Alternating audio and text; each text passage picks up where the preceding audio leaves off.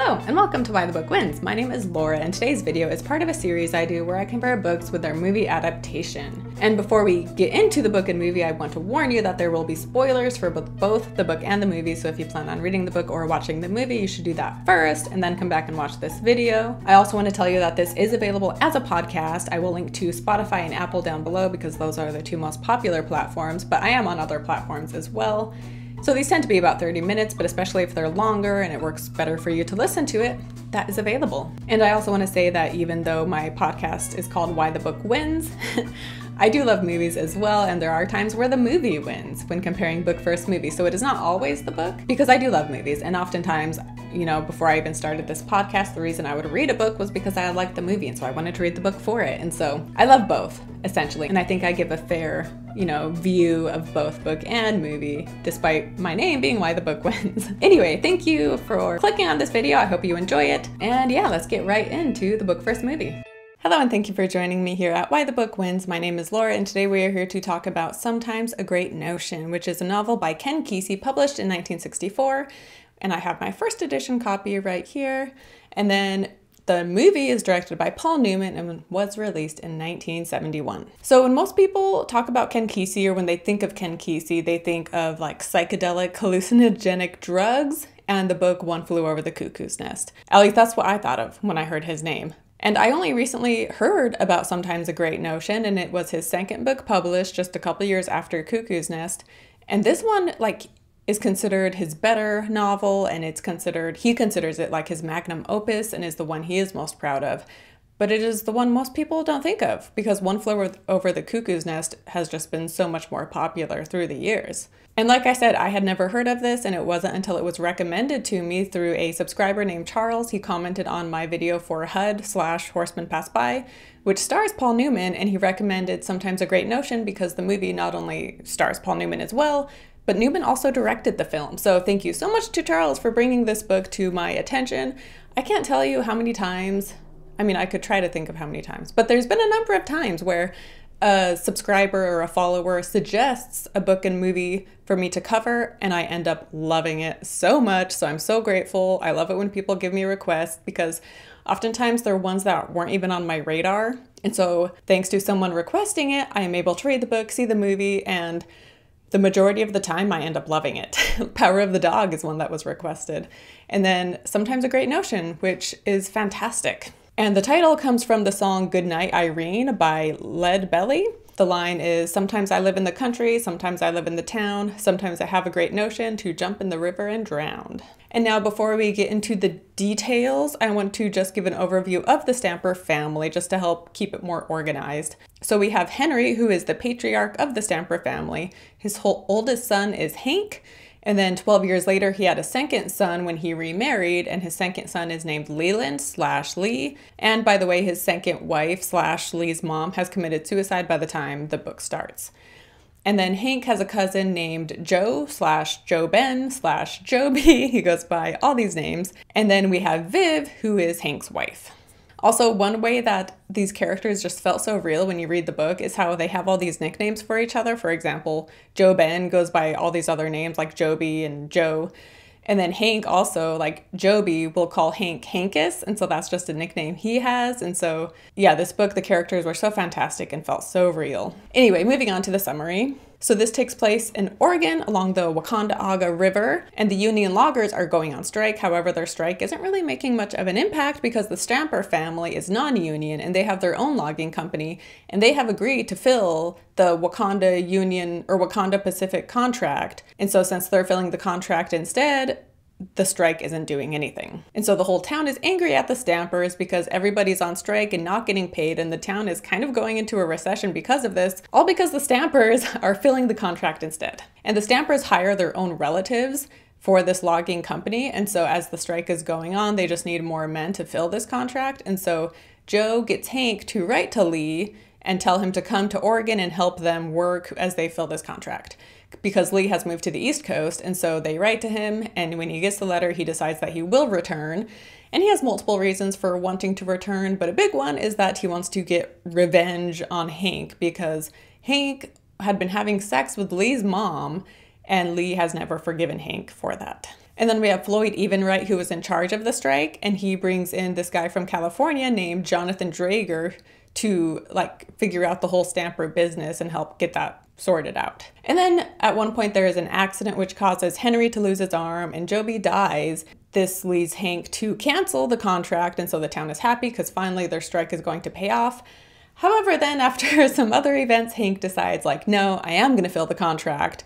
And so the book and movie end with Hank filling the contract to WP, and the town is upset with him again. So that is just a very quick rundown of the story. And so for the book review, this book starts at the end when Hank goes back on his word and decides to fill the contract anyway. And as the book went along, it's like 650 pages, so it's a thick book.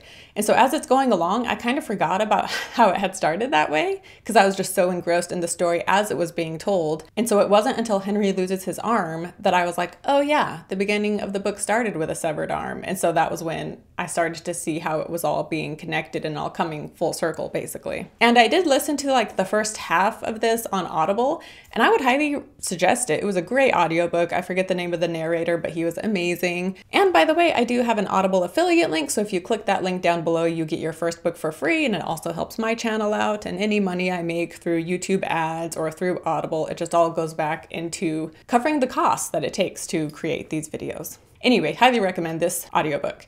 I did read like the second half, like I physically read it, and I'm glad I did that too because it is an experience reading this book because there's so many lines in parentheses and italics and uh, uppercase dialogue, and so just the way it was written. I liked experiencing it through audio, but then it was a great one to actually sit and read as well. And the audiobook surprisingly did not make me confused because this book jumps around so much. We switch from third person perspective to first person perspective, and then we jump back and forth in time and we're head hopping all over the place. The only other book that has done it quite to this extent is Beloved by Toni Morrison, which I loved. And Toni Morrison and Ken Kesey both do this so beautifully because someone who is not as talented or as skilled this would just be a mess and so confusing. But because they are so skilled, it just is such a great way to read a book. Like, I just love it how, you know, it's less organized. You know, it's not like one of those books that breaks perspectives into different chapters, it's just all over the place. And yeah, I loved it. And the story itself is very character driven. If you are familiar with my channel, you know that that is one of the most important things for me when it comes to reading a book is I need characters that I am intrigued by and well-rounded and that feel real. And like I said, we're in all of these people's perspectives, even the main characters, the side characters, as well as characters that like don't really play a part in the story. Like for example, we have Simone in the book. She's not in the movie, but she's a character in the book whose pers- perspective we get, and I enjoyed reading her sections, but she never really tied into the story. So I, I, didn't know why we get her story, but I enjoyed hearing it. And yeah, overall, I just loved this book, in case you can't tell.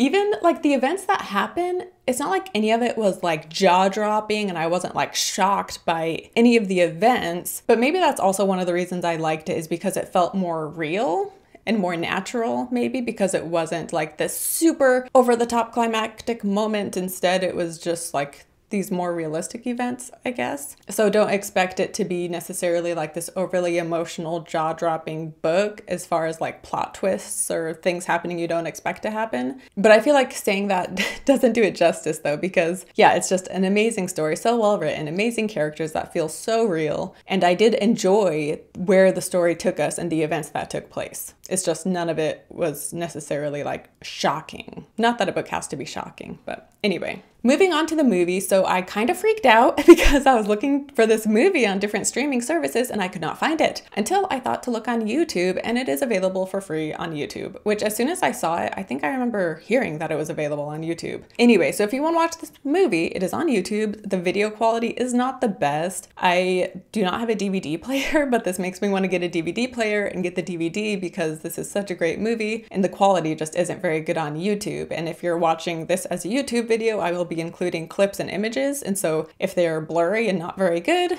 it's because the movie itself, the quality just wasn't very good. So I therefore don't have the greatest quality images. Anyway, it is available for free though, and I would recommend you all check it out. And I will link to it in the description box below. But this was the second film Paul Newman ever directed. However, this one was not his choice. The original director dropped out and then they offered it to Paul Newman and so he accepted and he did say that it was difficult to both act in the lead role plus direct. So he did a good job, but it doesn't sound like it was an experience he loved and he never did it again. Also, the book mentions Paul Newman, which I thought was funny as I was reading it. There's like some movie playing in town and it says that it stars Paul Newman. However, I was looking it up and the movie actually does not star Paul Newman. So I don't know if Ken Kesey got it wrong on purpose because we do hear about a character who works in the movie theater. So maybe that's an example of the character not being very good at his job because he's promoting a movie but he is saying the wrong actor is in it. But I thought it was funny that they mentioned Paul Newman in the book and then Paul Newman ended up being in the movie and directing it. But yeah, I thought this movie was well done. I really like the scenes where it shows them working because, like, they describe these scenes pretty detailed in the book, and I enjoyed it.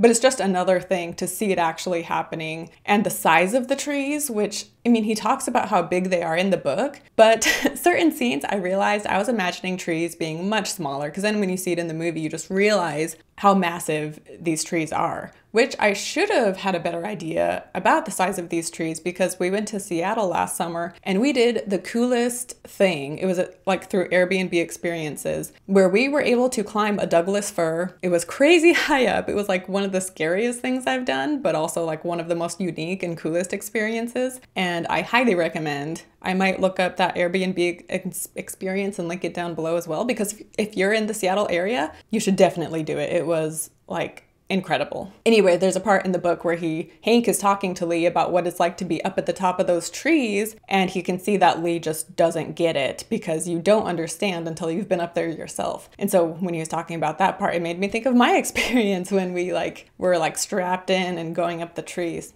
But anyway, that was a side tangent. Basically, these trees are huge. And so this book is long, like I said, and so there is just so much to it. And in this video, I will only be scratching the surface. And I read a review for the movie and someone talked about how like the book was unadaptable. And that's true to an extent because there just is so much to it. And so the movie can only capture so much. However, I do think the movie did a good job, you know, adapting a 650 page book and making it into a two hour movie. And also, this is the first Ken Kesey adaptation. One Flew Over the Cuckoo's Nest wasn't released until four years later. However, you know, Cuckoo's Nest has is obviously much more popular and has a, has had a staying power that Great Notion just wasn't able to achieve. And like, I get it uh, as far as the movies go, but yeah, I just think this is one book and movie, one that more people should be talking about, especially in conversation with Ken Kesey. Anyway, getting on to the, the changes between book and movie, I will start with Lee. So, like I said in the summary, in the book, they write to Lee asking him to come out in, to Oregon to help them with the work, whereas in the movie, he just randomly shows up. And so they're all like, what are you doing here, Lee? So that wasn't the case in the book because they asked him to come out. And in the movie, he does tell Viv how he had tried to commit suicide by like turning the gas on and then lighting a joint, and how the windows blew out, but then he himself didn't die. And we do get this like firsthand experience in the book where this happens and he has like burns on his face because of this. And as soon as that explosion happens, that's when the mailman comes and delivers the letter asking him to come to Oregon.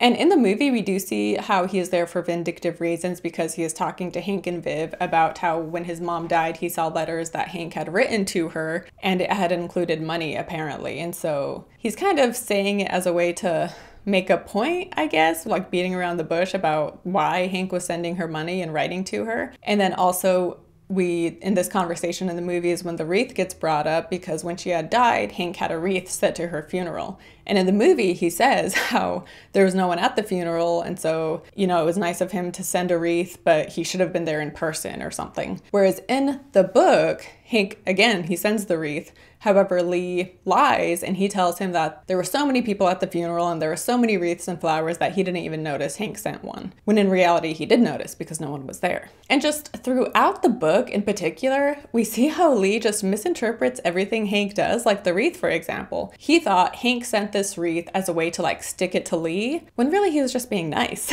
but Lee takes everything far too personal and is just has such a weird thing with Hank that he just doesn't think Hank is capable of doing something genuine, and so he just always interprets it wrong. And when he first arrives in Oregon, everybody is re- being really nice to him, and initially it like puts him on guard, being like, "Why are these people so nice to me?" However, over time, he begins to be like, "Wow, like I guess this isn't all that I thought it was. And he decides that he won't get revenge on Hank and decides to just enjoy it. But then he, even though he's not planning on going through with his revenge, he feels like he needs to tell someone what his revenge had been. And so he tries to talk to Viv about this. And then later, like they're interrupted, and then later that evening, they come back to the house and Hank and Lee talk about jazz music, and then that conversation ends up leading to talk of Lee's mom. And Lee just gets very on edge and very defensive whenever his mom comes up. And so this causes Lee and Hank to get in an argument, and Lee feels like he sees Hank's true colors and he decides to go through with his revenge after all. And another reason why Lee and Hank just have this animosity is not only because Lee misinterprets everything, but they just never talk about anything straight out. And so they just have all these pent up emotions and pent up feelings, and they're not talking about about it, they're not addressing it, and they're also not physically fighting. And so Hank, that bothers him too, is that they have this pent up aggression and yet they don't have an outlet for it because they don't fight physically or verbally.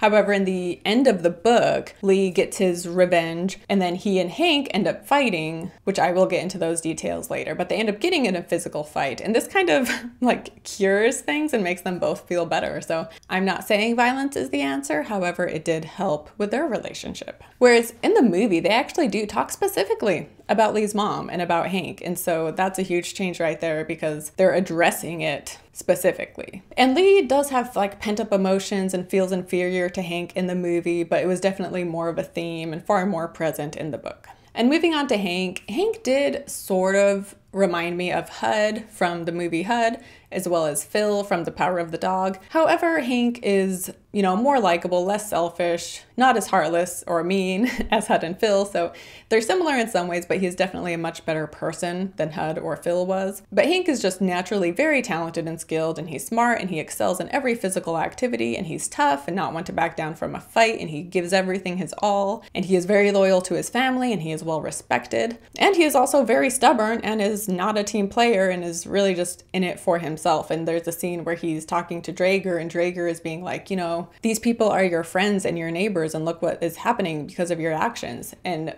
Hank basically says that, you know, he's on his own side and he fights for himself, essentially. And to talk more with like Lee and Hank's dynamic, again, Lee just feels so inferior to Hank, which makes sense because Hank is just like very talented and very strong and he seems great at everything and everybody loves him and he's very tough, similar to Henry. And Lee, it says how his greatest fear is appearing fearful. and so there's times where he just like comes across as a wimp and even I was just kind of like, ah, like, come on, Lee. But then he has other times where things don't appear to bother him. For example, there is a part in the book where these people try to drown him because they find out he's a stamper. However, once Hank shows up, like they're all intimidated by Hank and they run away. And so Hank or Lee gets out of the water and he's just kind of being like, Why didn't you help me? But then later he's just kind of seems to not be bothered anymore and so Hank is impressed that the fact at the fact that Lee is able to just brush things off apparently. And then to move on to Henry. So Henry's family moved to Oregon when Henry was a kid and his dad Jonas ended up painting it there and abandoning them.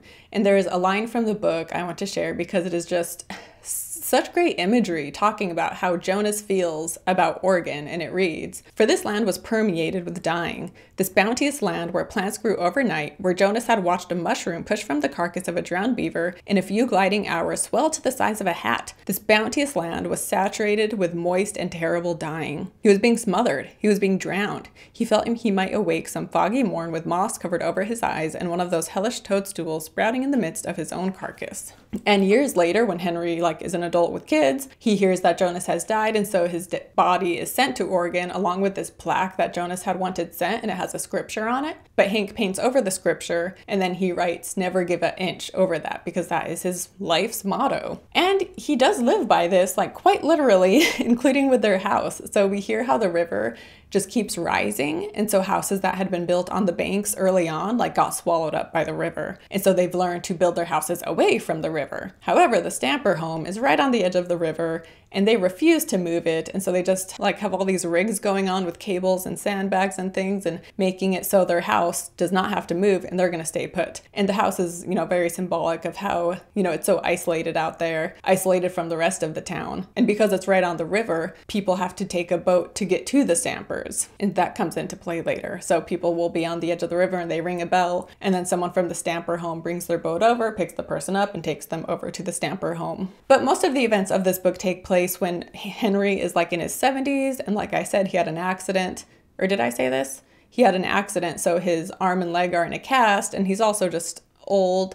However, even though he's old, like physically, he is still just like just a very lively person. And Henry Fonda plays Henry in the movie, and he was perfect. He really brought this character to life as just having like so much attitude and being witty and fun, but tough and stubborn. One thing in the book is that he'll often like go into town and get drunk and then come home. So that's just kind of how he spends his days in the book. However, that's not really shown in the movie. I mean, we do get one scene with him in a bar, but it was more frequent in the book. And in the movie, after he loses his arm, he dies like early, soon after that. Whereas in the movie, he continues, or in the book, he continues to live for a while. And so that was just great too, how like his body is falling apart, but he was still just like this strong willed person who didn't lose his spirit despite that. And it's not until he hears about Joe Ben and the WP contract when his, his health really starts to fade. But even by the end of the book, he's still not dead. They say he's close to dying, but he hasn't officially died. And like I said, his motto was never give an inch, never give a inch. And that was the original title for this movie, I guess. And if like the VHS tape, that is what it was released as on VHS.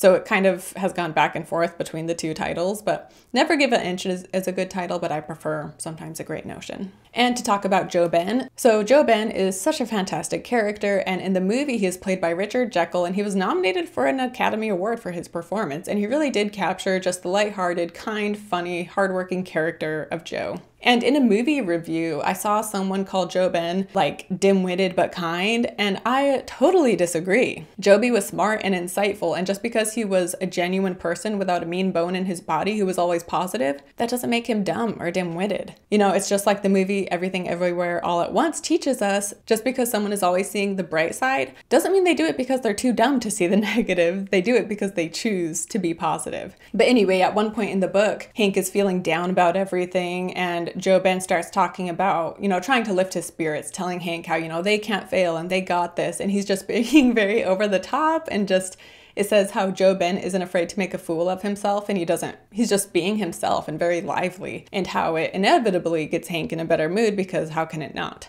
And then there's also a part in the book where the townspeople are calling and just being rude to the Stamper family, and Hank and Lee had been answering the phone and they're getting tired of it. And so Joe Ben offers, but then uh, Lee tells him that he doesn't know how to talk nice while actually telling a person to like screw themselves, basically. And so he therefore isn't fit to take the calls because Joe Ben is just too too genuine a person. And like I said, he is very insightful though, and he is observant and he sees what is happening with Viv, Lee, and Hank. And so when Lee refuses to go to work, he doesn't want Lee staying home with Viv, and so he convinces, you know, like Lee and Viv and Hank to have Hank to have Lee go into town to see the doctor. That way he will be getting away from Viv.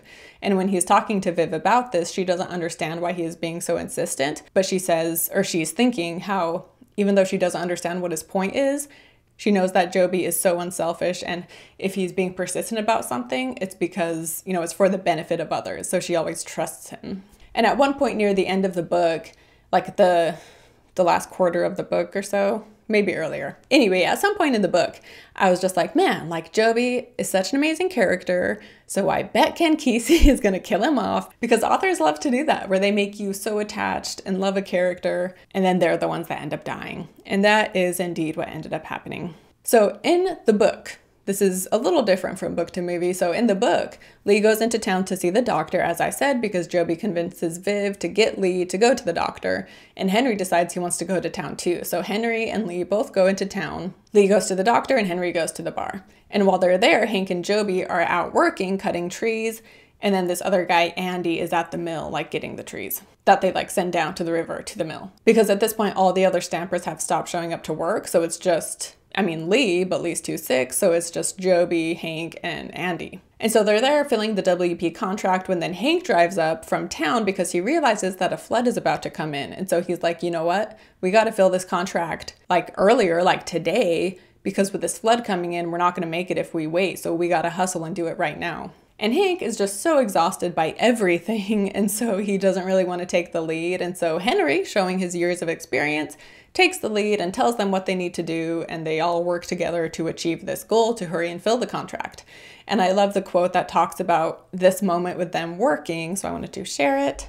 Few words actually passed between them. They communicated with the unspoken language of labor toward a shared end, becoming more and more an efficient, skilled team as they worked their way across the steep slopes, becoming almost one man, one worker who knew his body and his skill and knew how to use them without waste or overlap. And like I said, Hank is mentally exhausted, but Joby is just loving this. like he's loving the teamwork and he's loving like the high pressure that they have to fill this contract soon and he's just really enjoying it. And I could relate to that because I love just working as a team to achieve something. And even when there's pressure and a time crunch, yeah, I just love that feeling. However, during this time, Hank ends up sawing a tree and the tree doesn't fall the way it's supposed to. And so as it's falling in the wrong direction, it gets Hank in the arm. Sorry, it gets Henry in the arm. And then it rolls down and it gets Joby and it pins him in the river. And so he's not injured, but he's stuck in the river and he can't move. And in the movie, this plays out basically the same, the only difference being that Lee was there with them. And so Lee sees all of this happen. Hank goes down to be with Joby, and Lee takes Henry into town to see the doctor. Whereas, like I said, Lee hadn't been there at all because he had been in town the whole day. But in both book and movie, Hank tries to saw the log so that they can get it off of Joby. However, the river is starting to rise, and the log is so big that they can't saw through it without the saw, and it's an electric saw. It's going to get in the water, and it doesn't work if it gets wet, and so they can't saw the log. And then they're like, well, when the river rises, the log, log can roll off. However, because of how it's positioned, it's going to roll like towards Joby, like towards his face rather than away. And so they're just really stuck in this bad position. And as the water continues to rise, eventually it rises so high that Joby's head is underwater. But Hank is like, you know what, don't worry. When the water gets that high, I can just give you mouth to mouth. So just hold your breath. And when you need a breath of fresh air, I'll, you know, stick my head in and give you mouth to mouth. But this is such like a precarious situation because in order to survive, Joby has to sit, stay so calm when his head is submerged underwater because otherwise he's going to swallow the water and drown, which is ultimately what ends up happening. So despite Hank's best efforts, Joby does does end up drowning. But I just love this moment in the book because it lasts for a while. Like it takes a few hours for the river to rise, and so we just see the two of them hanging out and chatting and reminiscing. And Joby is staying positive, his usual self. Yeah, it was just a great scene and so touching. And I love that Ken Kesey had just that intimacy of Hank having to give Joby mouth to mouth repeatedly and yeah, I just really love the bond that they had. And people who watch this movie, chances are this is the scene that will have stuck with them because it is just so powerful. So, to talk about Viv and Lee, so Lee's grand scheme to get revenge on Hank for having had sex with Lee's mom is to have sex with Viv. And this like is so annoying, but it's not a surprising tactic because I mean it is psychological as we will see and it really does like drive a wedge between Hank and Viv obviously. And Lee is being genuine to some extent because it seems like he really does fall in love with her, I guess. I don't know, it doesn't seem super genuine, but he makes it seem like he really does love her. Anyway, what's annoying about this, of course, is that Lee apparently sees women as property rather than their own individual people making their choices because he sees it as like men's property. Like his mom, he's very possessive of her and being like, wow, like Hank stole her from me. And then he is like, well, Viv belongs to Hank, so I'm gonna have sex with her, and that'll be my way of getting back to Hank. So it's just this very sexist way to see things, seeing women as objects and possessions instead. But I guess it's not surprising for the time since this was the 60s. And, but I mean, honestly, there was a show from the 2000s that I was watching that had a very similar thing where like seeing women in this way and using women to get back at someone who did you wrong. And yeah, so it's annoying.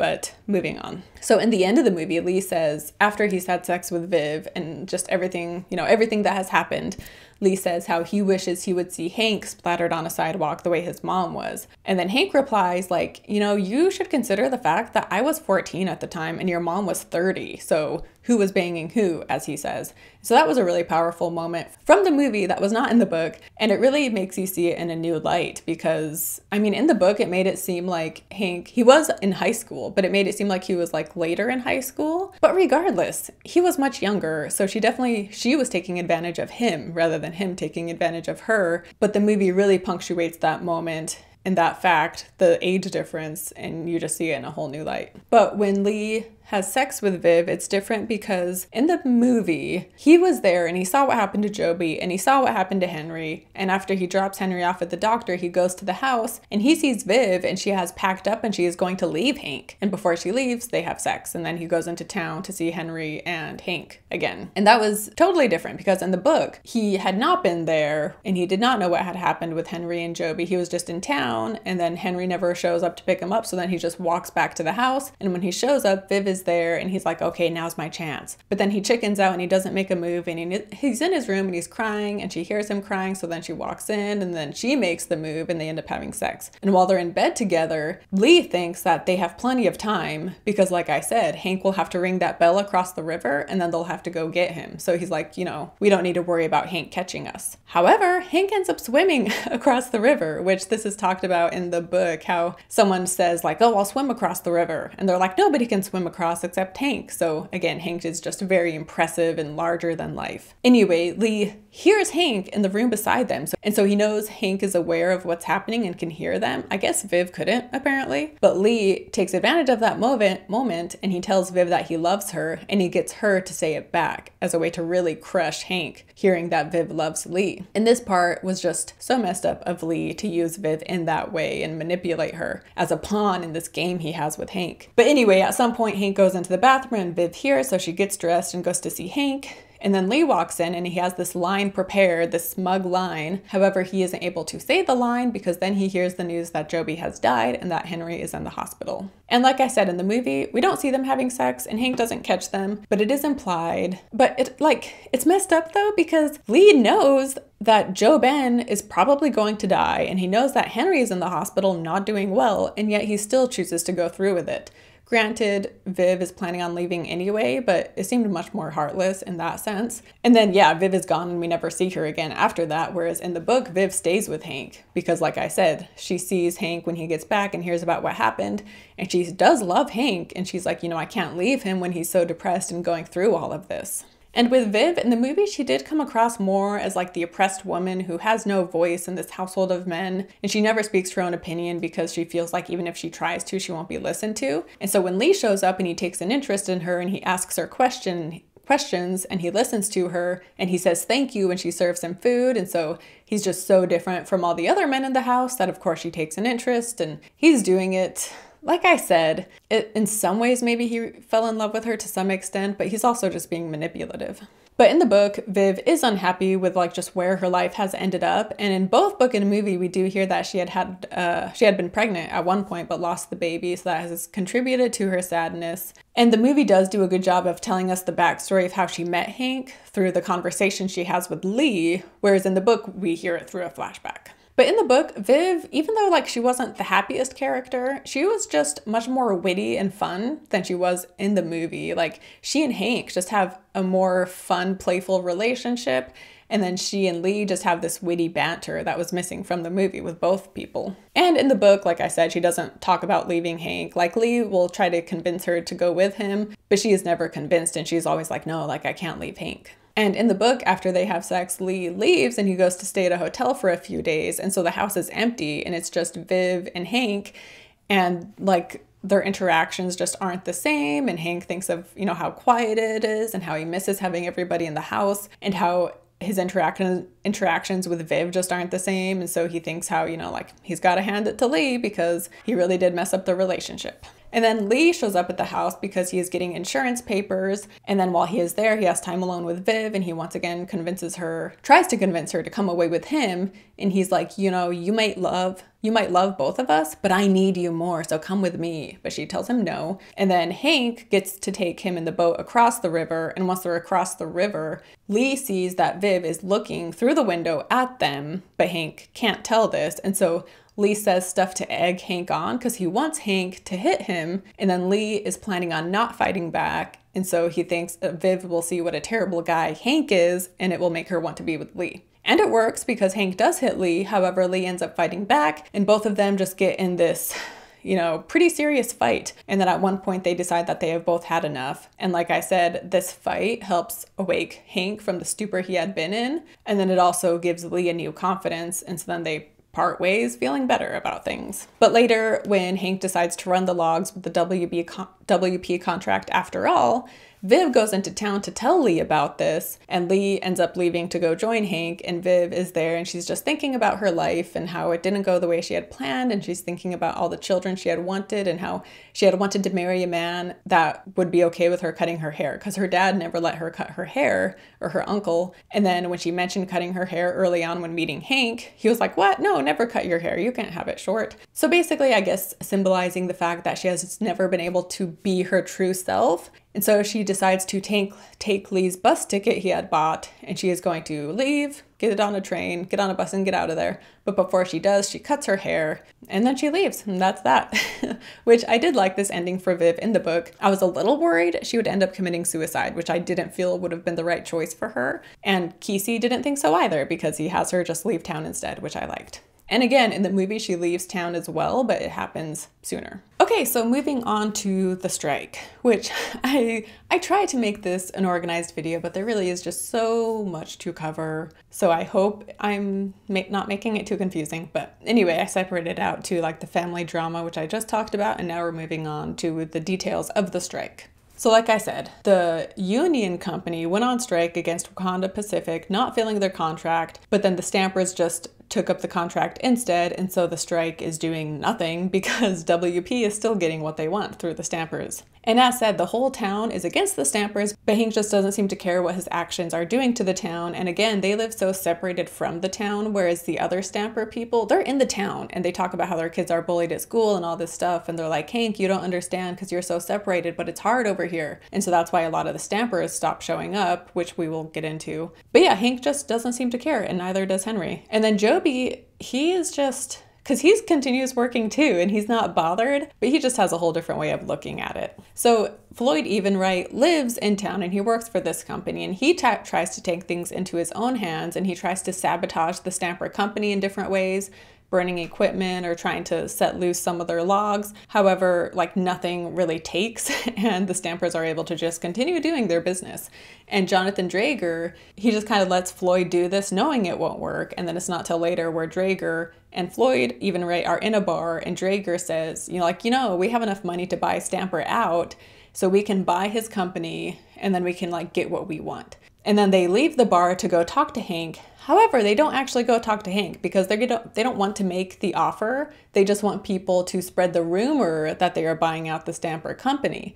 And the other Stamper relatives inevitably hear this rumor, and so they are all so excited because now they're going to get a cut when the company is bought out, plus the town will no longer hate them. However, when the family, they have this meeting and all the family members are like, oh, like you're buying the company out, right? And Hank tells them, no, like that's not what's happening. And they are all so disappointed.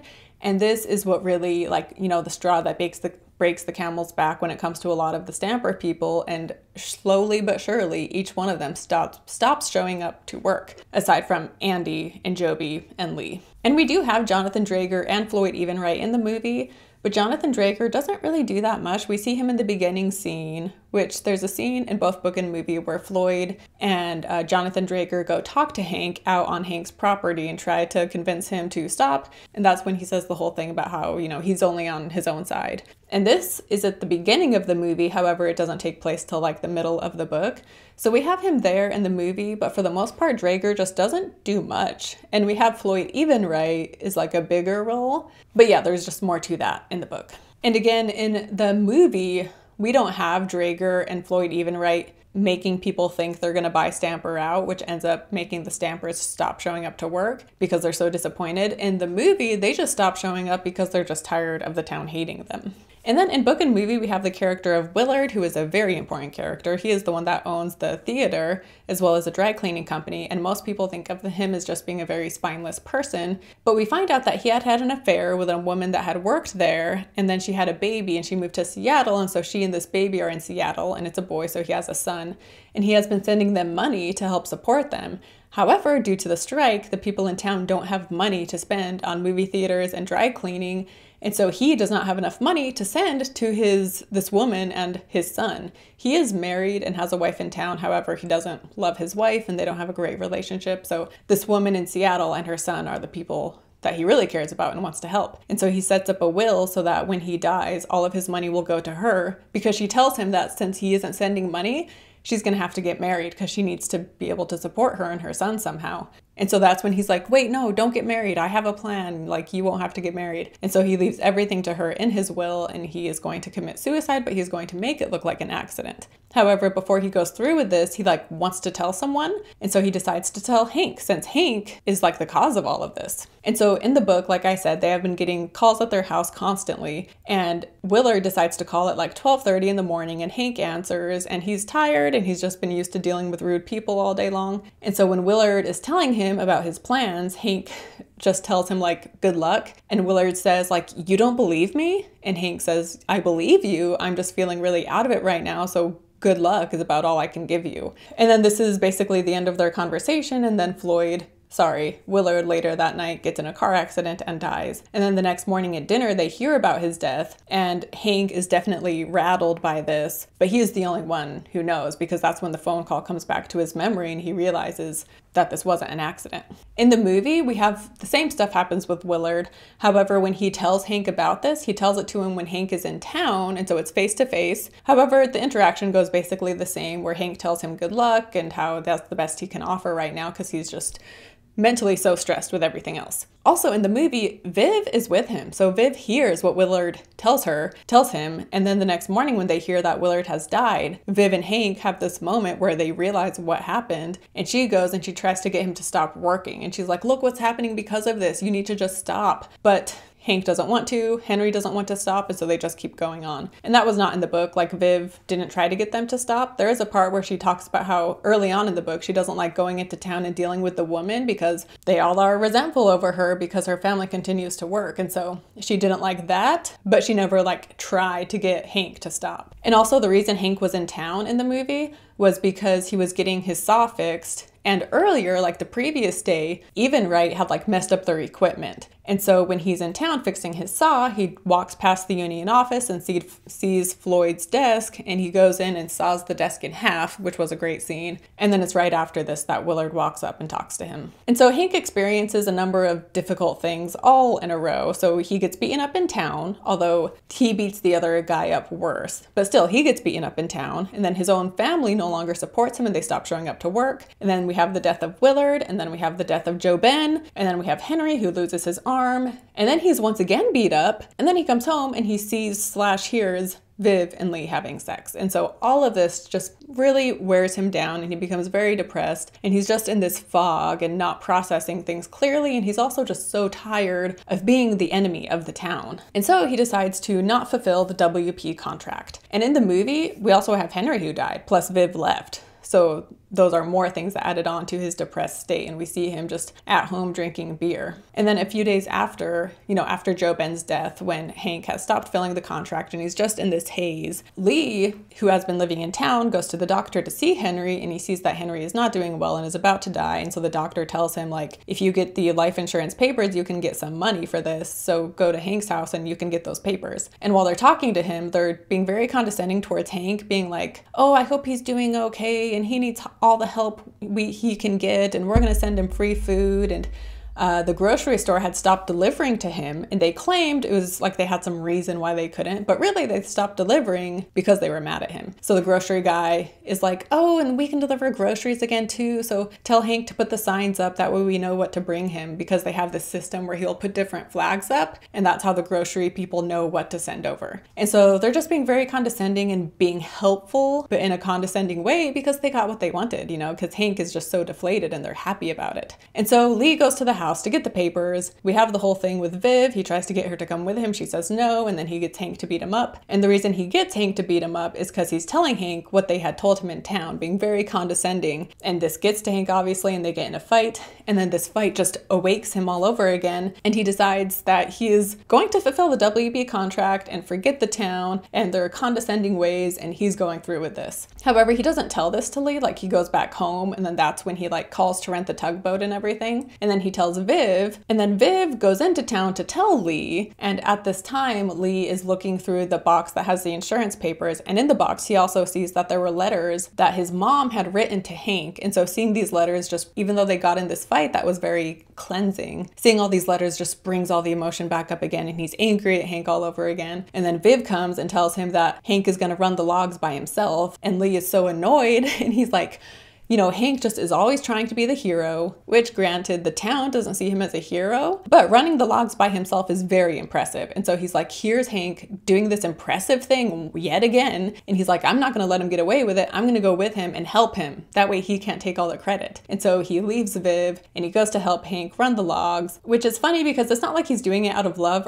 or loyalty. He's doing it more out of like vengeance and because of this tug of war he has with Hank. But yeah, so then he goes to help Hank run the logs. And I talked about how the guy said, you know, make sure you put the different signals up so we know what to get you. Uh, Henry had lost his arm, if you remember, and they still had it. They had kept it in the freezer. And so Hank takes it out. He makes it so the middle finger is flipping up and he sets that out for people to see. And so when they try to see what's going on at the Stamper home, they see that they are being flipped off. And then, as I said, from here, Viv ends up leaving town and the book ends with, you know, Hank running the logs and Viv leaving town. But anyway, in the movie, it's a little different because so Viv has left, Hank is depressed, and then Lee is just hanging out across the river for some reason. So he's just over that way. And then Hank gets a phone call from the townspeople, again, being very condescending, offering their help, and being very smug.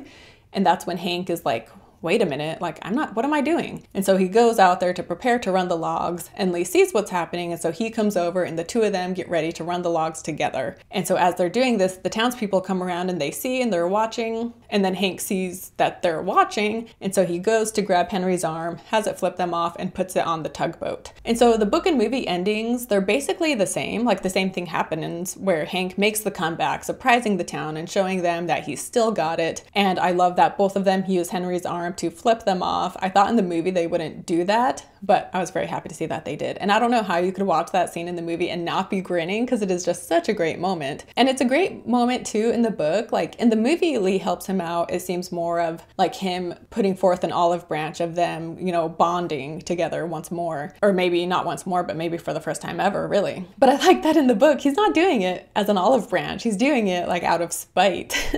and it was very fitting in the book, but I also liked it in the movie as well. So it kind of works out both ways. And like I said, it both both of them are achieving the same end goal with the endings. But the very end of the book, so like I said, there are a number of characters in this book, a lot of which are not in the movie. But one of them I wanted to talk about is a woman named Jenny, and she is a Native American woman who is a female prostitute, and we hear her perspective a lot. And we hear a story about how Henry had insulted her, and so she has this like hate slash obsession with Henry. And then near the end of the book, we see her like throwing shells and doing some kind of like magical spell. And then when we return to her again, and the shells are looking like a face face. And then when we return to her again, we see that there is a man there and she's talking to this man, telling him her real name, and then the book ends. And I I'm mentioning this because I didn't understand it. I don't understand the symbolism of that moment and who this guy was. And it was near the death of Henry, so does this guy have to do with Henry? Because she did have this weird thing with him. So I don't know. Anyone who has read the book, if you know what the symbolism of the end of the book with Jenny was, I would love to hear your thoughts. This has been another longer video, but but to mention some other changes real quick. So in the movie, we see them going to this like lumberjack picnic where they play football, and there's that motorcycle race, and that was not in the book book. Also in the book, Joby's face was like all scarred up. I forget what had happened to him, but he had this messed up looking face.